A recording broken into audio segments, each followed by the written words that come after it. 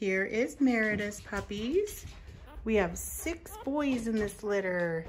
They're two days old. They were born March 25th. And they are mini medium golden doodles. Very sweet little boys. They're two days old. Doing great. Mama's doing great. And these are Merida's mini medium golden doodles.